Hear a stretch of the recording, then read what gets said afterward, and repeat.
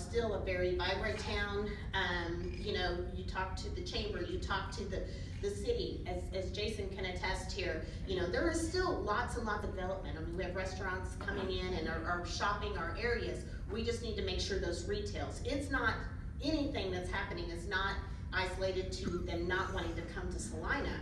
But if these national stores, you know, whether, I mean, I hear the rumors all the time. People are telling me, they'll tell me that Best Buy or Toys R Us are moving into Sears. And I'm like, really?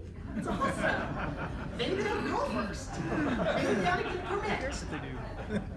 It's so, you know, I mean, I'm like, I hear this, you know, I hear this is coming. I'm like, oh, yeah, that's great.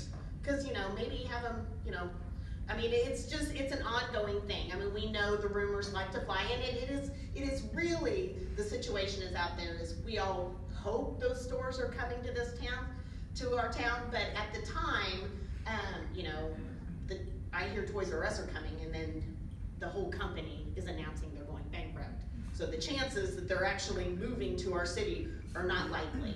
Now, we just hope these, these companies, these national retailers can figure it out and turn their companies around. Um, what's happening in, okay, I started in 2005. I ran the March Dimes office for 20 years. They closed my office. I took the marketing position at the Central Mall.